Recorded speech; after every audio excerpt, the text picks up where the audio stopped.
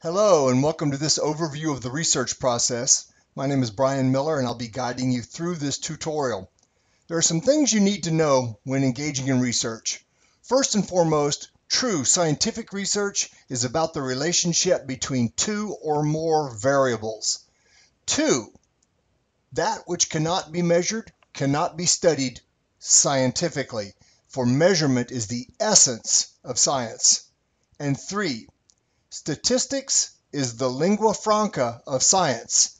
Statistics is what allows physicists to talk to anthropologists, to talk to chemists, to talk to psychologists. It's a common language. Let's get started.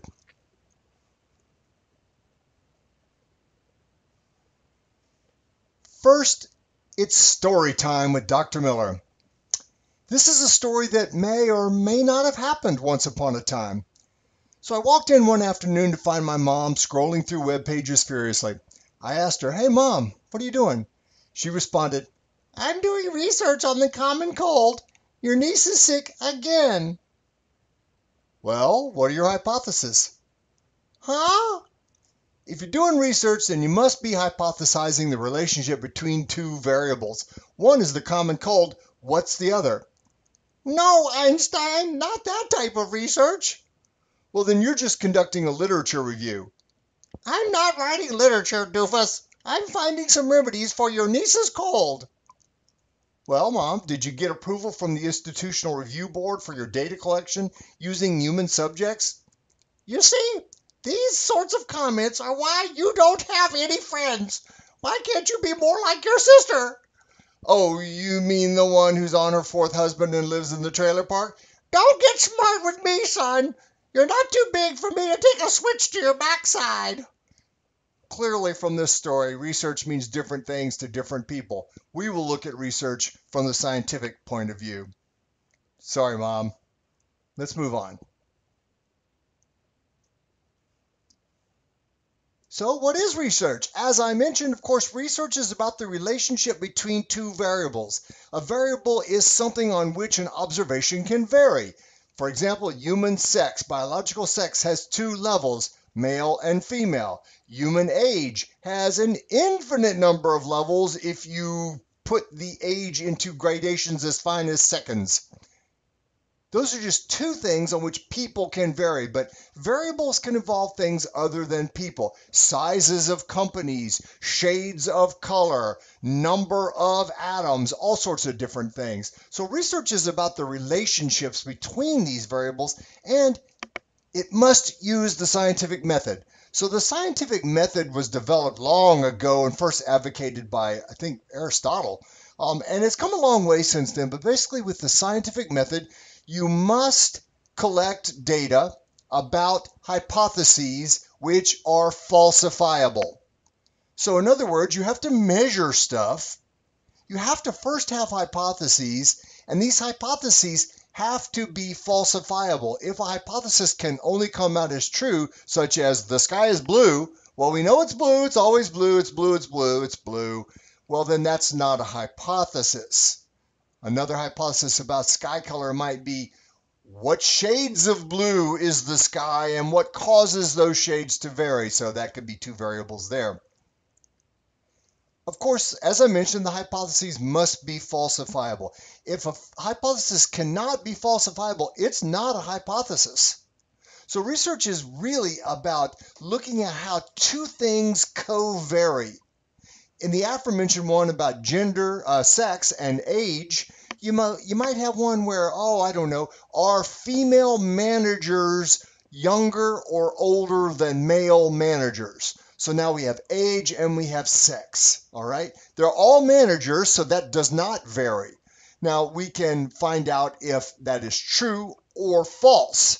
And from these hypotheses, we gather data to make inferences. The very notion of statistics is based upon inferential statistics, which is a product of making inferences from samples about populations. If we could measure everything in our population of interest, maybe all the atoms in the universe, then we wouldn't need statistics. We would simply measure them all and find out what's what. but instead we can very seldom measure an entire population on all the variables of interest. So we gather data from samples which should be representative of the population, and we make inferences about the population from those samples. Research proceeds in at least three phases, the first of which is formulation, and the first step in that is define the problem. Well, maybe the problem is you find that you're having uh, high levels of turnover in your male managers. Well, it may be a function of age. It may not be a function of organizational commitment, outside employment opportunities. It could be a multitude of things. So you're interested in finding out why are top managers who are male more likely to leave the firm than female managers who are at the top of the firm? Well, first you would have to conduct a, a literature review, just like I tried to convince my mom that she was doing. So, in a literature review, you find all of the extant scientific literature that has studied the relationship that is of interest to you, or relationships that are similar. So, maybe you find multiple studies on entry level employees who leave the firm early based upon their own biological sex. Then, hopefully, you can generalize to the population of managers. Managers and entry level employees are distinct populations, but your literature review will help inform the rest of your research, and you must examine theory. There's got to be a theory for this. Maybe the theory is that, uh, oh, I don't know, continuance commitment is low amongst males, lower amongst males than females. That is, the willingness to stay with a firm because of the calculation that leaving would cost too much to the person is the organizational uh, commitment theory that you're using. So now we're looking at not just managers and subordinate employees, we're looking at is organizational commitment in the form of continuance commitment related to sex or different based upon sex? Well, those are general research questions. Is organizational commitment different for males than females? That's a pretty general research question. Exactly what we want. When we're first formulating research, we think in broad generalities about why did that happen? What's going on there? Why are these two things different? And then we boil it down a little bit. In the second phase, we begin some execution. This is where we start the sampling method, and I have a whole lecture on that later. The sampling method means do we have a truly representative sample of the population? In the social and behavioral sciences, that is very rare. So we might have a convenience sample that we hope to make broad generalizations about the population from. Uh, in the world of academia, convenience samples are most often student samples. Are students a representative sample of the rest of the world? No. Are they convenient? Oh, yeah. And so we would use that. Then we collect some sort of, uh, I mean, design some sort of data collection form. The goal there is if you're using a survey, a self report inventory to measure organizational commitment, well, then you've got to go to the literature and find an appropriate scale for that. And you have to organize the items or the statements or the questions in an appropriate way. And half of these lectures in this sequence are going to be about survey design and implementation. And there's not only an art, but there is a science to survey design. Then you go out and collect the data. You get people to complete your surveys or participate in your experiment or agree to be observed in their jobs or participate in a focus group, whatever the data collection technique is. After you've collected the uh, data, you check for errors. Well, checking for errors is really important because sometimes people will get out of sequence. Let's say they're responding to a survey using a Scantron form, and your last question is, What is your sex, male or female? And somebody puts E. And then you look, and all of the questions have been, you think, shifted down because they skipped question 17. And what they wanted to put for 17 is now in the 18 blank. What they wanted to put for 18 is now in the 19 blank, et cetera, et cetera, et cetera, all the way down. Well, that's probably an error. Can we infer that they meant or did not mean to do that? No, we would probably throw that data out. There's no E on sex. And then you code the data. And so coding it will involve turning verbal responses into numeric data.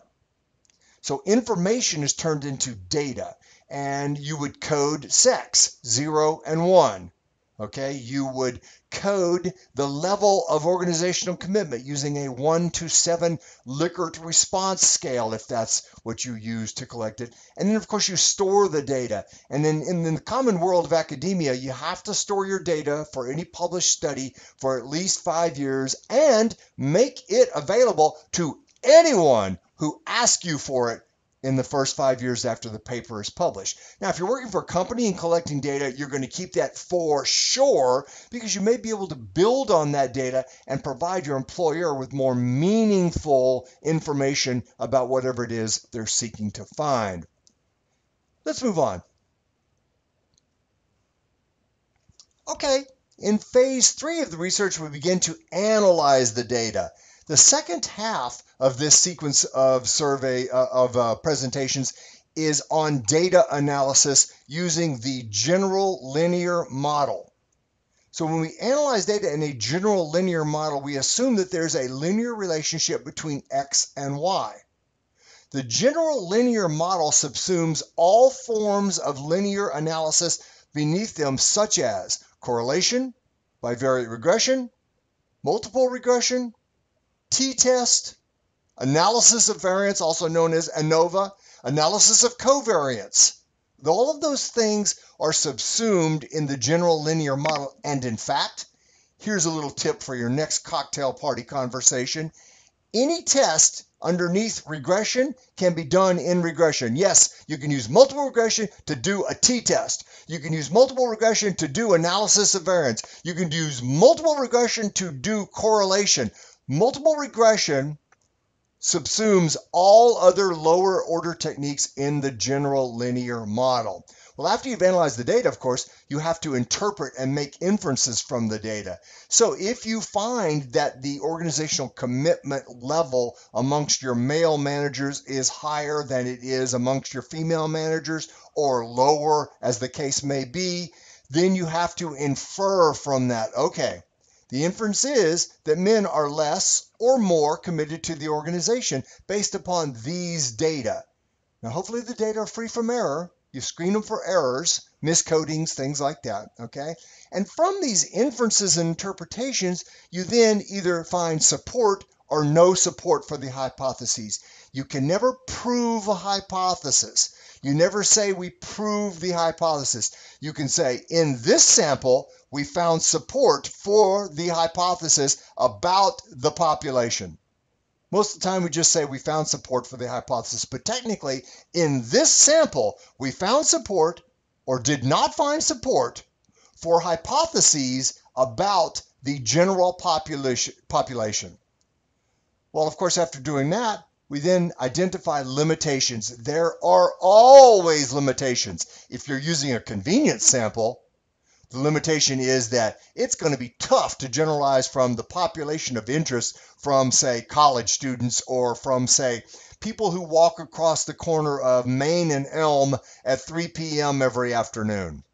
Just not a truly representative sample of just about anybody except people who walk street walks at 3 p.m. I don't know. All right, then you write it up you write a report. Now, in academia, it's a, it's a little bit different. You have a, a special format you go through. If you're writing this report for an organization for whom you work, well, typically to come up with an executive summary that summarizes all the key aspects of it, and then you'll write a report detailing everything that you did in the study because these studies must be replicable. They must be able to be replicated. You must provide all the information that is necessary for someone else to do the exact same study. And this has become a problem in social psychology in the last several years because what happens is people found that their studies were not replicable. The classic one is by a guy named Bargh at Yale or Harvard, one of those schools. And he found that after showing college students films or videos of elderly people engaging in just regular behavior, they the people who watched the videos then walked slower leaving the experimental viewing room than before they walked in. That's it in a nutshell. So viewing old people makes you walk slower, supposedly. No one has been able to replicate that study. So it doesn't matter how well he showed what it is that he did. Perhaps he just found some oddball sample. And from that sample, he generalized to the population, and it was not an appropriate generalization. Well, let's move on. Well, there is a role for theory in research. Theory is the basic fuel of research. It offers explanations and predictions. So think about explanations and predictions. Why did that happen? If you see someone cut in line at the grocery store and people behind them don't say anything to them, you have to kind of figure, well, why did that person not get reprimanded for cutting in line? Well, maybe I wasn't around to see them ask the people behind them to hold their position in line while they went and got something from a nearby stack of food. Maybe the people behind them are just shy people and not willing to stand up for themselves. Maybe when the person stepped in line, they turned around and gave an evil glare to everyone in the line as if to say, Don't mess with me. Those are some explanations that we might find uh, we might offer for why that happened. Well, from that explanation, we can then make predictions and we can design an experiment. And from that experiment, we can test whether the evil glare actually works on regular people or whether asking people to hold your place in line allow forces them not forces um, makes them more cooperative regarding holding your place in line and then base basically for how long what if you're near the end of the line? There's only a couple people behind you. You ask those people to hold your place. You go get something. When you come back, there's even more people behind you. Now you're cutting in front of people who did not see you ask to have your spot held. Okay, all of those things are rife for investigation. Theory helps develop normative decision rules that suggest what should be done when faced with a, a, a situation like the theory. And so basically, we would come up with decision rules, normative meaning prescriptive, meaning what is supposed to happen. Well, if you turn around and give an evil glare to people in line behind you, most people are probably not going to say anything, okay? So the normative decision rule is if the person cutting in line gives you the evil glare, you're going to let them cut in line. There are a multitude of gaps in knowledge used to develop these normative decision rules. Think about the social behavioral sciences. Think about all of the possible variables that exist and all of the levels of those variables that exist. And by the way, it is infinite, okay? And then you can think about the relationship between an infinite number of variables, and now we have infinite factorial, which is infinite, which means there are an infinite number of areas available and rife for study. However, some of the most interesting, some of the most perplexing ones have already been studied. They can provide us, through their use of theory, they can provide us with theory in our own studies. So people will often ask me, well, Dr. Miller, has there ever been any research on stop? I say, stop. The answer is yes. Now, on what? Well, has there ever been any research on X and Y? Yes. There has, I'm sure. Let's look in some of the research databases like PsycInfo or ABI Inform and let's find out. And lo and behold, all the cool stuff's already been studied, but there are some nice little areas where you can make a niche. Theory is very practical. It narrows down the things that need to be studied. Occam's razor says that the simplest explanation is usually the best explanation. Occam, O C C A M, Occam's razor. Let me say that again. It says that the simplest explanation is usually the best explanation. So these theories that have a multitude of variables all intertwined and interrelated and such, they are usually so complicated that it's difficult to apply them to actual phenomenon in the world. Theory has to be practical. Why did that happen? Because the evil glare will give you permission to cut in line. That's why that happened. So these law-like generalizations then provide the hypotheses Okay, now we can design an experiment by if it's a very brief evil glare, will people call you out for cutting? If it's a moderately long evil glare, if it's a long evil glare, if it's a long evil glare with the baring of teeth and the gnarling and gnashing, will that be more likely to have people not say something to you? These are hypotheses which developed from our theory. From these hypotheses, we then determine what needs to be measured. Well, in this case, I had four different levels of the evil glare. The short evil, the medium evil, the long evil, and the long evil with the, the glare uh, gnashing of teeth. Okay, the baring of teeth as if in a wolf-like scowl, right? Okay, that's four different things that can be measured or manipulated in an experiment. And then the uh, how long you're gone from the line can be measured. How many people are behind you when you first cut can be measured. How many people are behind you when you come back to the line and cut in line? That all can be measured, and we have hypotheses about these different things. So, theory provides an avenue towards use of the scientific method. Theory provides a rationale or a framework for understanding similar phenomenon in similar situations. It goes well beyond just intuition based explanations. Theory allows us to actually test these explanations. Well, let's move on. Now we turn research questions into testable hypotheses as alluded to previously. The research question just states a general proposition. For example, is gender important in most jobs? That is a very general statement there. Most jobs, very general. Important, very general. How do you measure important? How do you manipulate it? What jobs? Very general question. How about is an employee fitness program a good thing? That's very general right? What type of employee fitness program? What is a good thing? Is it good versus bad? Are there level, levels of goodness? Who knows? So a hypothesis is a formal, specific statement of some, some unproven supposition that tentatively explains certain facts or phenomena.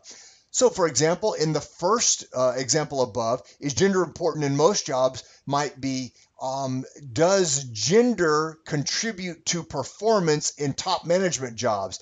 Or, in other words, do male uh, top managers outperform female top managers in top manager jobs, right? Or in the second example above, regarding employee fitness programs, is an on site full service employee fitness program going to be used by a majority of the employees? Or even more specifically, which employees will use the on site employee fitness program? All right. It's unproven supposition. We don't know. We're going to find out. And once we find out, that will help us understand the phenomenon. So, another one Female service employees report higher job satisfaction than male service employees. That's a very testable hypothesis that is obviously whittled down from a very general research question. Female service employees report higher job satisfaction than male service employees, or participation in an employee fitness program will result in higher organizational commitment. Okay, those are testable. I'll buy that. Maybe my mom will too. Let's move on.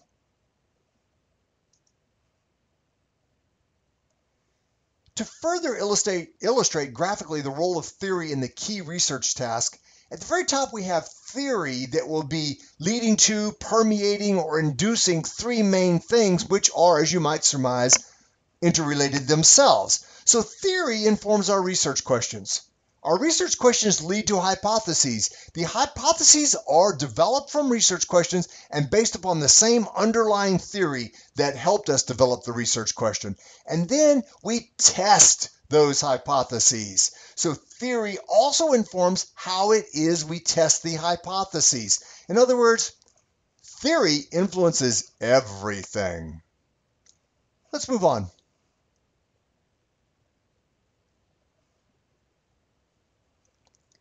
Ah, the rigor of science. Data represents facts about hypothesized variable, and data are analyzed to determine the consistency with prediction. So here's a simple question. Are men taller than women? Okay, we would look around and say, yeah. Okay, are men taller than women in the African pygmy population? Are men taller than women in the Dinka tribesmen of the Sudan? Are men taller than women in uh, southern Japan? Well, those are very clear hypotheses there. And so we would collect data on those. We would measure males and females on their overall body height in these very different populations. And from that, we would analyze it and then we would find out if our uh, data is consistent with the prediction. I would say that pygmies are probably not statistically significantly different in height. Southern Japanese are probably a little more different, and Dinka tribesmen, the males, are a lot taller than the females. Okay, that makes sense to me. Hopefully, hopefully it does for y'all. If the data and the prediction are consistent, ta-da! The hypothesis is supported. Remember, I didn't say it's proven. It is not proven. We did not collect data on all the pygmies, the Dinka, and the southern island of Japan. We did not. But we have support for our hypothesis. And if we find that there is no difference in males and females in overall body height, well, then we simply did not find support. We did not disprove the hypothesis. We just failed to find support for the hypothesis. Maybe a bigger, more representative sample would have different results. Maybe a hypothesis about a different population would have different results. I think in Western society, particularly in America, um, men are, on average, taller than women. Yes, there are lots of women who are taller than men, and there are lots of men who are shorter than women, and vice versa. But on average, men are taller than women. So it all depends on your population and the sample and sampling technique you use. Well, let's move on. Thanks. That's all for now.